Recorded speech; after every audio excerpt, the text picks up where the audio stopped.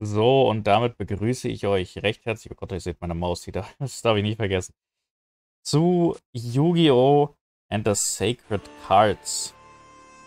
Yu-Gi-Oh! Die heiligen Karten. Es ist ein altes Gameboy-Spiel. Und ja, wir schauen uns das heute gemeinsam an. Äh, wie heißen wir denn? Wir heißen Wolf.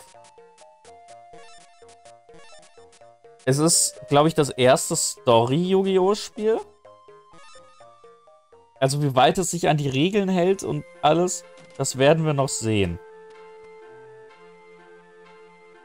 Das Turnier in Battle City ist heute, Wolf. Guten Morgen, Wolf. Ist dein Deck fertig? Hey, mein neuer Deck ist was ganz... Der Deck? Joey! Ja. Mein neues Deck ist etwas ganz Besonderes. Es hat lang gedauert, aber die Mühe hat sich gelohnt. Wolf, Hast du einen guten Deck? Es ist das Deck, Joey. Mach dich nicht direkt nach dem Start unsympathisch. Äh, nee, ich habe kein gutes Deck. Was? Soll das ein Witz sein? Reiß dich zusammen. Noch ist Zeit. Stärke dein Deck. Deinen Deck durch die Duelle. Es ist das Deck. Yogi, nicht du auch noch. Okay, fangen wir an. Nur keine Verzögerung. Okay, ich Möchtest du speichern? Ja, möchte ich. Okay, speichern noch über so einen PC. Alles klar, ich bin mal sehr gespannt. Es gefällt mir aber nicht, dass ich nur an... Ah. Der Status Stamm. Okay. Stamm.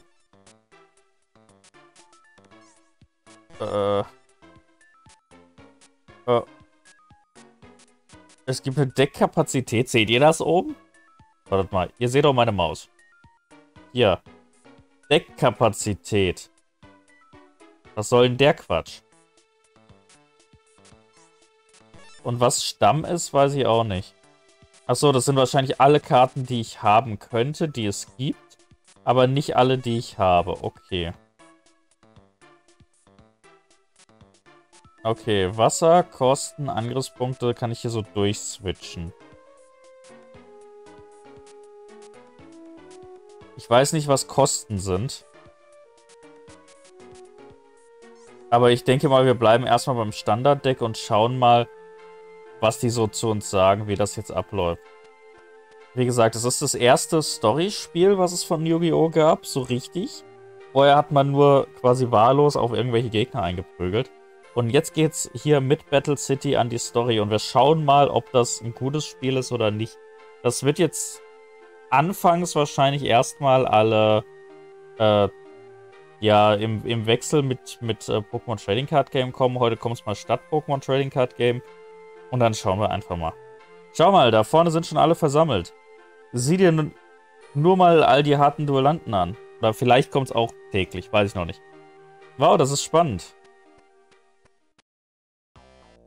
Duellanten, willkommen in Battle City. Zunächst einmal zu den Turnierregeln. Das Turnier findet in ganz Domino City statt, wo sich die Duellanten in der Stadt auch treffen. Hier findet das Duell statt. Duellanten können nur mit eigenen Decks spielen. Der Verlierer muss eine seltene Karte abgeben. Acht erfolgreich, äh, acht siegreiche Duellanten kommen ins Finale. Das Finale ist an einem geheimen Ort in der Stadt. Jeder Duellant hat eine Locator-Karte erhalten. Besiege andere, um ihre Locator-Cards zu bekommen. Mit sechs Locator Cards bekommst du die Karte für das letzte Duell. Diese Locator Cards können der Einsatz im Duell sein.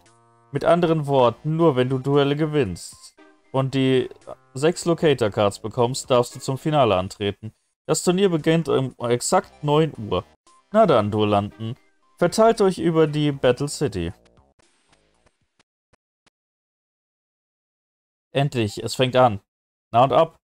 Sogar wir sind von nun an Rivalen. Versucht durchzuhalten, Yugi. Versucht durchzuhalten, Yugi und Wolf. Klar. Ich gebe auch mein Bestes. Lass, lass dich nicht äh, unvorbereitet erwischen. Joey, auch du solltest vorsichtig sein. Aha, mach dir keine Sorgen um mich. Wenn du alle Karten hast, treffen wir uns wieder. Wir sehen uns am Spielzeugladen meines Großvaters. Okay, das machen wir. Ich brech dann auf. Und ihr beiden schlagt euch bis ins Finale durch. Bis später. Ich habe gehört, dass einige Duellanten alles riskieren, nur um ein paar seltene Karten zu sammeln. So viel Ehrgeiz ist zu viel für mich.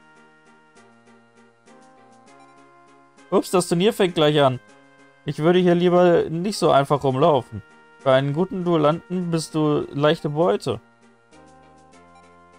Pegasus wurde im Duelist Kingdom besiegt. Sein Bezwinger Yugimoto ist hier. Ich wette, er ist angsteinflößend. Ich sollte besser aufpassen. Okay, wir... Oh, das ist Mai. Du warst doch vorher mit Joey Wheeler zusammen. Ich werde beweisen, dass ich die beste Duellantin bin. Ich werde dieses Turnier gewinnen. Pass auf. Und ich mache Joey Wheeler und Yugi fertig. Uhuhuhuhu. Ist okay.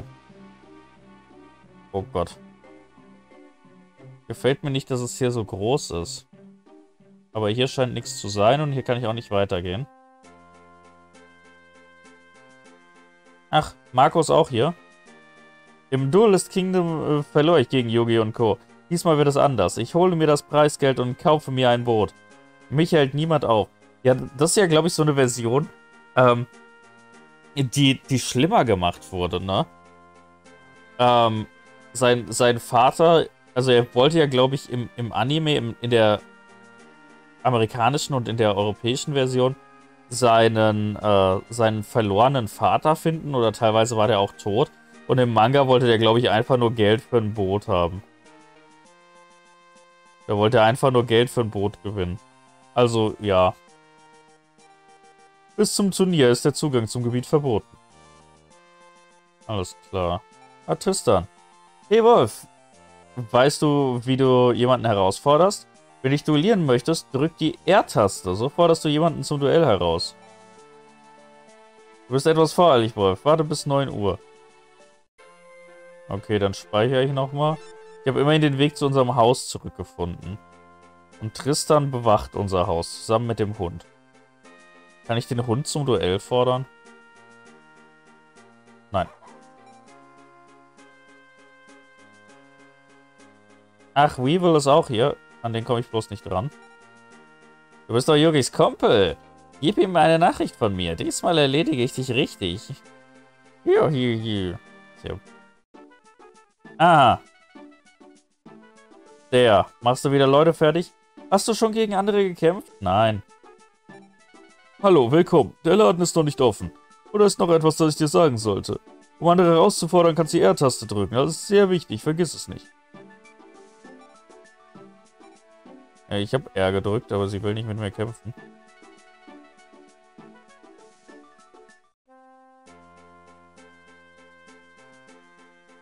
Bei uns ist auch da. Hihihi, dieses Turnier werde es ihnen zeigen. Ich werde alles gewinnen und alle demütigen. Mein Geisterdeck wird sie am Boden zerstören. Okay, ich nehme an, bis 9 Uhr haben wir die Möglichkeit, hier einmal durch die Stadt zu laufen. Hey, sie sind alle in die Stadt geeilt. Aber ich bleib hier. Mein Dinosaurier-Deck muss ich nicht verstecken. Für meine äh, Decks sind Heimlichkeiten nichts. Kann ich einfach mal so einen Typen? Stell dir... Boah, da war Insektor Hager. Er ist der frühe japanische Meister. Das war Weevil Underwood im Deutschen. Es sind auch noch andere berühmte Duellanten hier. Ganze Menge sogar. Ich werde ganz sicher aufgeregt. Immer mit der Ruhe. Ja, ja. Okay, die wollen alle noch nicht. Wir sollten auch ein paar Karten gewinnen. Ja, wie denn? Keiner will mit mir spielen. Jetzt auf dem Friedhof. Okay, da, wird, da werden wir wahrscheinlich Bones treffen.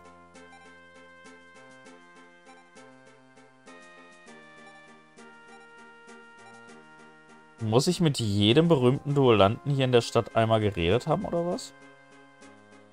Du bist kein berühmter Duellant. Ja, ja.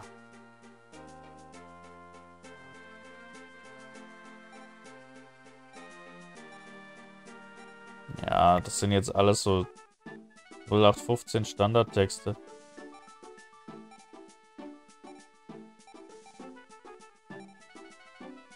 Okay, Großvater liefert sich keine Duelle mehr. Aber wo habe ich denn jetzt noch nicht mit jemand Wichtigem geredet?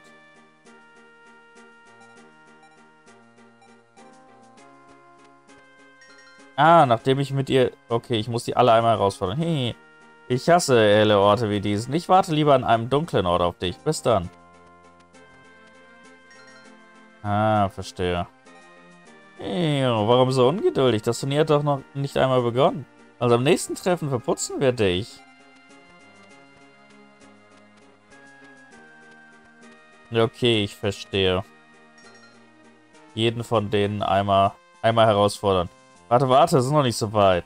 Wir sehen uns in Battle City wieder, Bruder. Okay.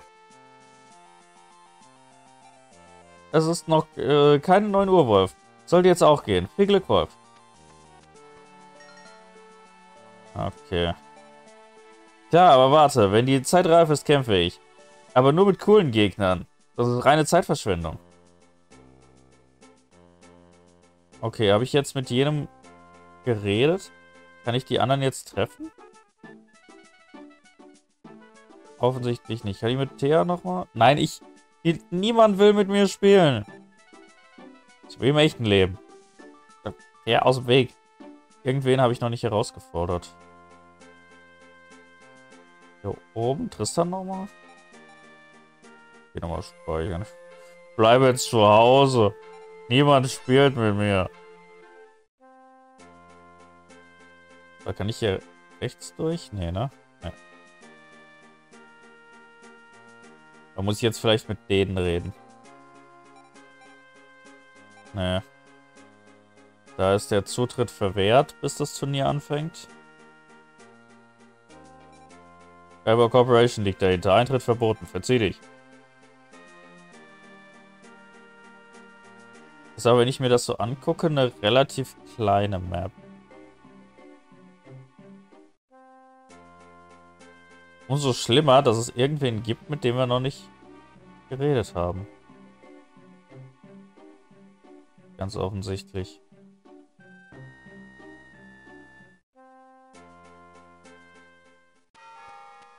Ach, jetzt geht's los. Ich muss bloß noch mal überall sein. Hey, es geht los. Okay, packen wir's. Mich besiegt keiner. Ich weiß auch nicht, wie lange das Spiel geht. Ich glaube, das ist gar nicht so lang. Ja, wird auch Zeit.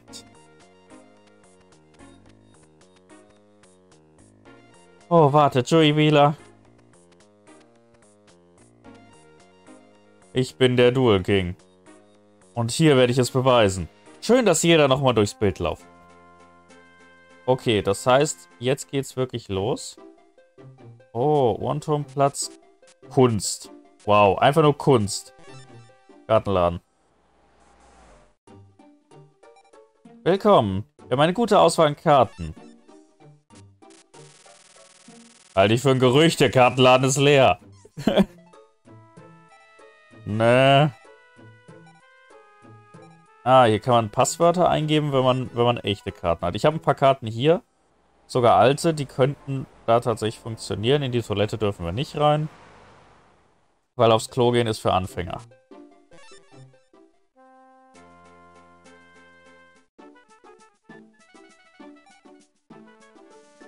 Du kannst das Spiel daheim speichern, Wolf. Blick zum PC und drück den A-Knopf. Kann ich einfach mit, mit so irgendeinem jetzt Duell machen? Duell mit mir, na gut, aber ich bin nicht sehr stark. Finde ich gut. Beende das Spiel mit einer Ante-Karte?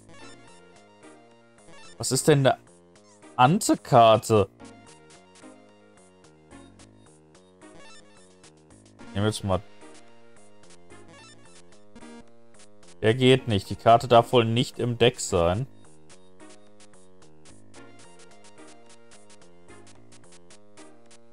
Bin etwas verwirrt. Ach so, die Ante-Karte ist wahrscheinlich eine, die ich setzen muss. So, ich setze diese Karte. Du bist an der Reihe. Maskenkonstrukt ist ein Ritual. Okay, ich fange erstmal mit ja, da muss ein Tribut bezahlt werden. Na gut.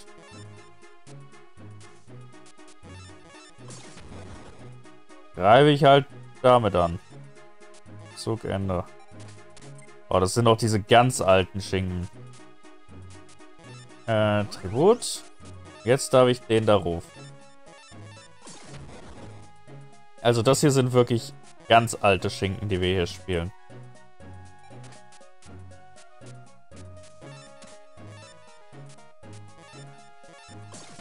Ich glaube, hier gibt es sogar noch Typvorteil. So alt ist das. Das ist aber, äh, es hat tatsächlich normale Yu-Gi-Oh! Regeln. Also es ist, wenn ich jetzt nochmal eine Karte... Ah ja, Zauber- und Fallenkarten dürfte ich jetzt noch spielen.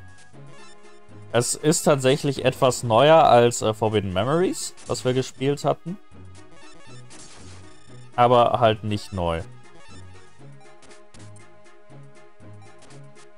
Wer sich noch an Forbidden Memories bei mir erinnert, habe ich mit Pasch zusammengespielt.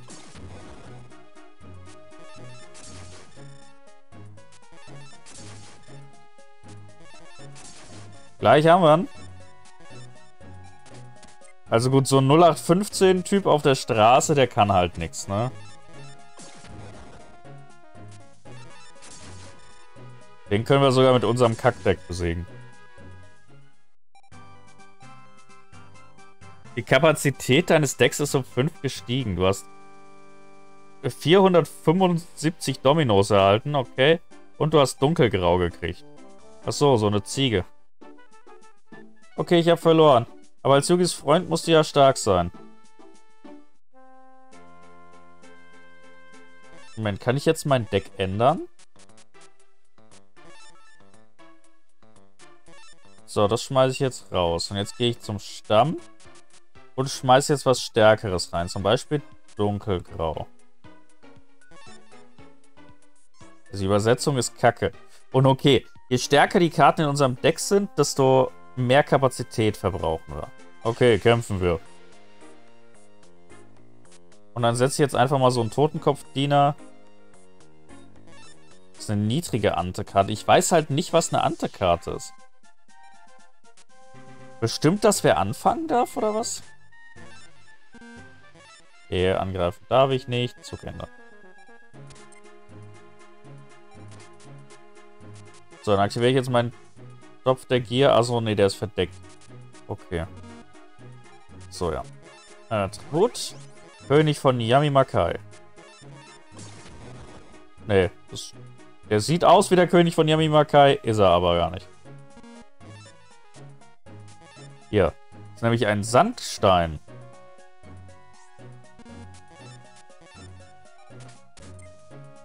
Okay. Wer mit Yu-Gi-Oh! Regeln nicht vertraut ist, das hier hat wenig mit Yu-Gi-Oh! zu tun. Man kann pro Zug ein, ein Monster rufen. Man darf so viele Zauber- oder Fallenkarten, wie man will, verdeckt spielen. Oder muss die Lebenspunkte des Gegners äh, auf Null bringen. Dämliche Tribut, ne? In diesem Spiel hier darf man offenbar so viele Karten spielen, wie man will. Man darf aber pro Zug nur eine Karte ziehen. So. Angriff. Und Angriff.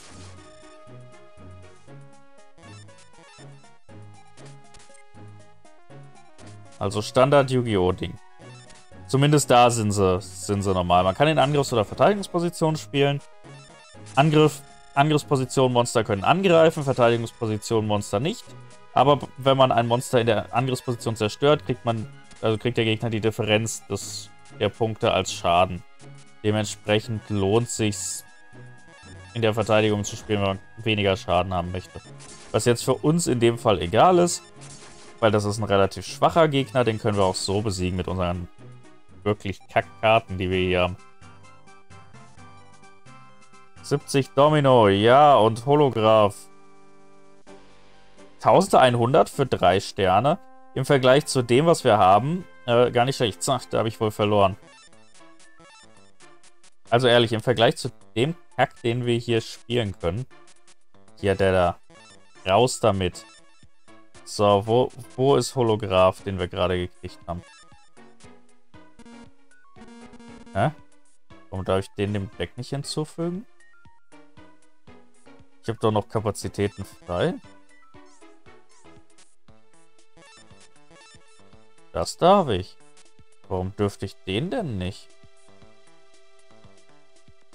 Hat irgendeiner eine Ahnung von? Was ist eigentlich mein Status? Ich habe eine Locator Card. Achso, ja klar, die habe ich ja von Start an.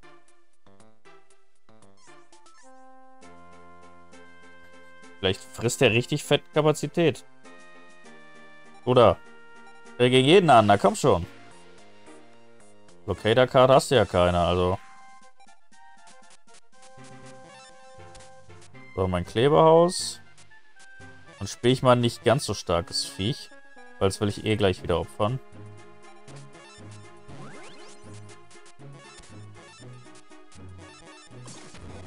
Die sind ja hier alle ziemliche Flaschen, aber wir müssen halt am Anfang erstmal ein bisschen was aufbauen, dass wir hier stärker werden.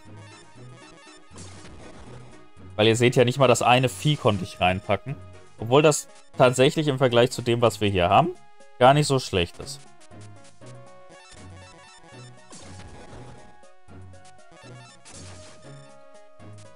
Man merkt halt, das Spiel ist alt, aber lasst euch davon nicht abschrecken.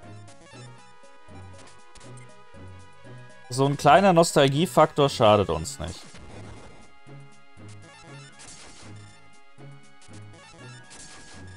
Wir befürchten nur, das Spiel ist sehr kurz. Aber gut, es ist das erste Storygame. Ich werde auch noch andere machen. Okay, also es hat halt diese alte Funktion, dass man wirklich Tribute anbieten muss, da wo man sie findet quasi. Du hast 95 Domino erhalten. Und ein Megaschallauge. Ah, braucht aber auch ein Opfer. Eine Killermaschine aus den Weiten des Weltraums. Autsch, das Duell habe ich verloren. Ja, mit, mit Drax will ich noch nicht spielen.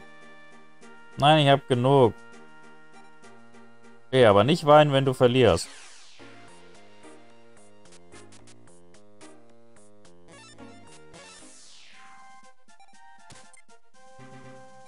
Okay, er fängt jetzt halt mit einer Angriffsposition an. Allerdings keiner besonders starken. Und jetzt verliert er Lebenspunkte, seht ihr? Ja, sind wir mit 800 noch relativ gut. Uh, ein Monster, das zwei Tribute braucht. Ich finde es auch ein bisschen komisch, dass man nicht einfach sagen kann, du möchtest diese Monster spielen, welche Monster darfst du als Tribut anbieten? Sondern dass du hier wirklich sagen musst, ich gehe aufs Feld, ich tribute meine Monster und dann darf ich erst was spielen. Aber 2300 ist eine starke Karte. Also sehr starke Karte. Für unsere Verhältnisse, muss man sagen. Aber eine starke Karte.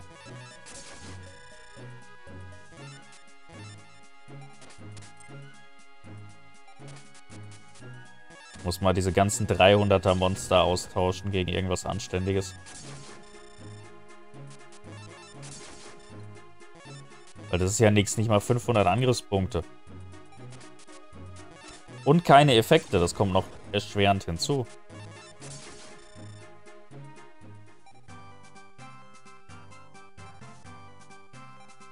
83 Domino und Einbrecher bekommen.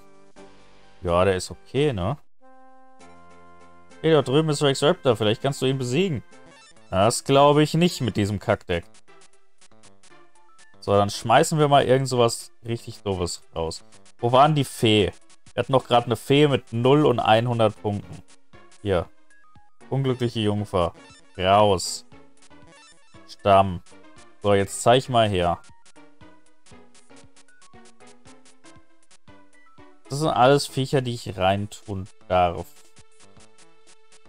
Bei keinem beschwert er sich.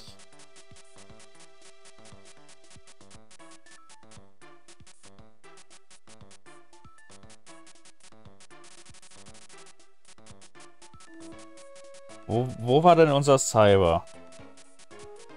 Aber die Bilder sind so, so richtig schön pixelig, dass man nichts erkennt.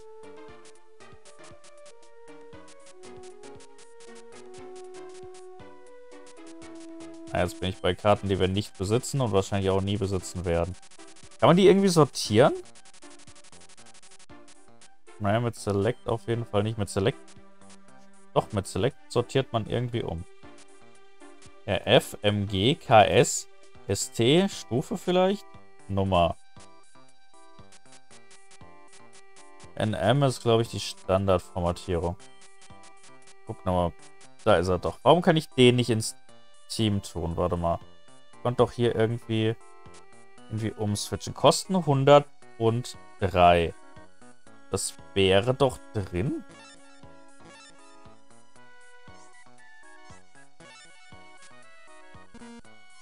Warum darf ich den denn nicht reintun? Das ergibt für mich halt keinen Sinn. Weil 103, da hätten wir locker den Platz gehabt.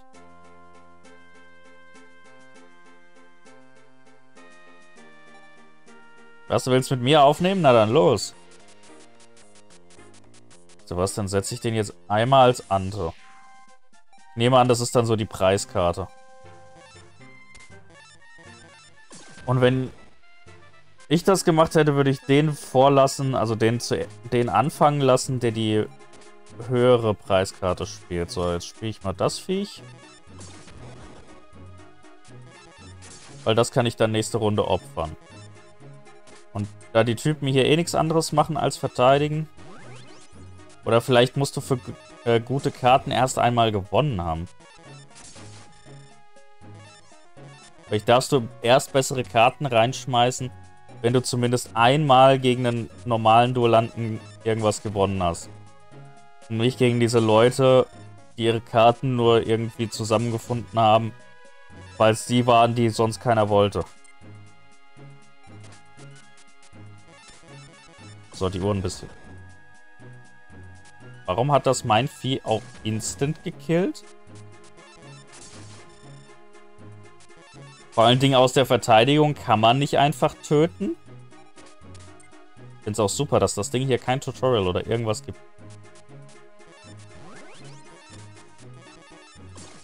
Okay, es gibt wohl Typ-Nachteile und die sind so stark, dass sie einen instant killen können.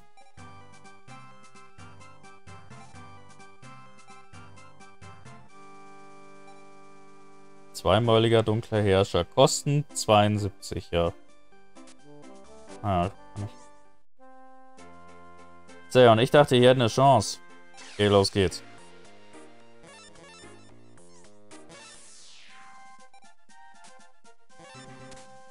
Wahrscheinlich auch je... Ah, doch, ich kann Effekte aktivieren, wenn ich welche hätte. Jo, das wollte ich nicht.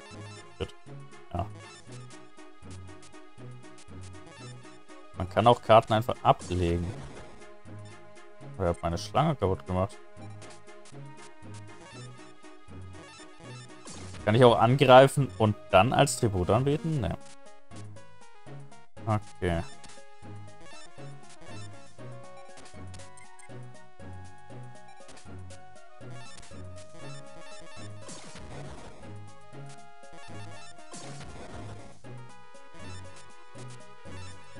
Also ich muss mich hier in dieses Spiel erstmal ein bisschen einfinden.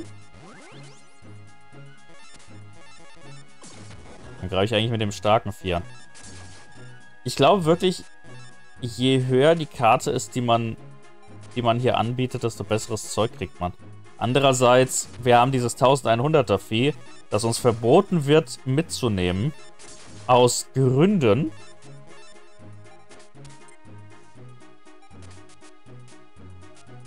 Warum auch immer wir einen Ritualzauber haben, aber nicht das Ritualmonster dafür. Oder warte mal, kann ich das einfach mal... Zwei Tribute. Ich, ich möchte das einfach mal probieren. Was, wenn ich die... Okay, die kann ich trotzdem nicht aktivieren. Ja, schön. Dann habe ich jetzt einfach zwei Monster für gar nichts geopfert.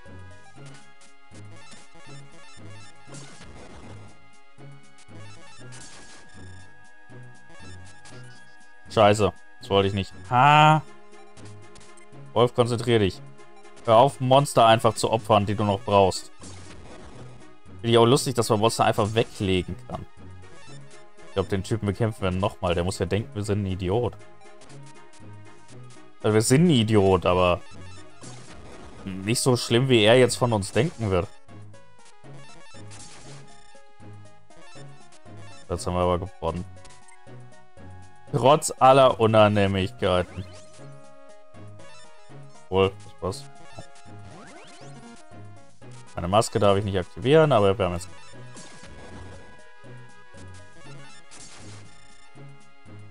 Der erste Gegner, gegen den wir Schaden genommen haben, wegen meiner Dummheit. Monsterschildkröte. Auch nicht gut. Hey, was hast du gesagt? Du mir verschwiegen, wie stark du bist. Kann ich dich nochmal bekämpfen? Das mache ich bestimmt nie wieder. Okay. Okay, liefern wir uns ein Match. Okay, letztes Match für heute.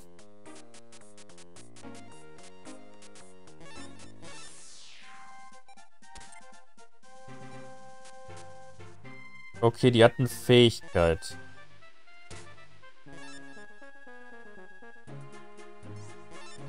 Details. Äh, die Schattenmonster stärken und Lichtmonster auf dem eigenen Feld schwächen kann. Okay, das heißt, Finsternismonster werden verstärkt, wenn ich ihren Effekt aktiviere. Verstehe ich das richtig? So, das da ist ein Lichtmonster. Das nützt uns natürlich jetzt in der Kombination nichts. Außerdem wird es einfach getötet. Weil ist so. Hä?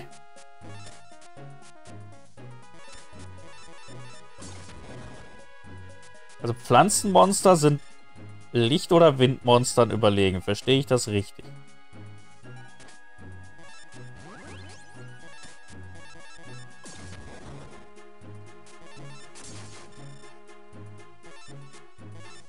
Verstehe ich das richtig? Und vor allen Dingen Dämon. Dämon ist kein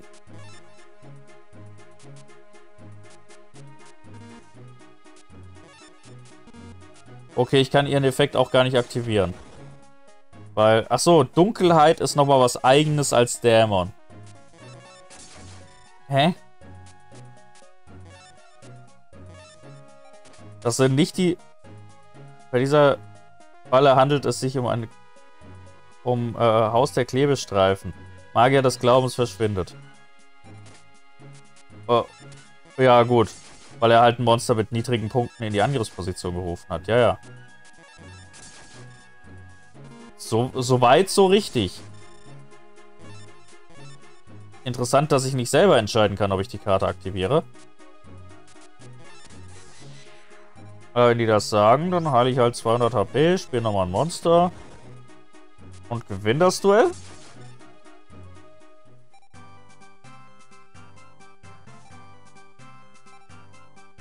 Okay.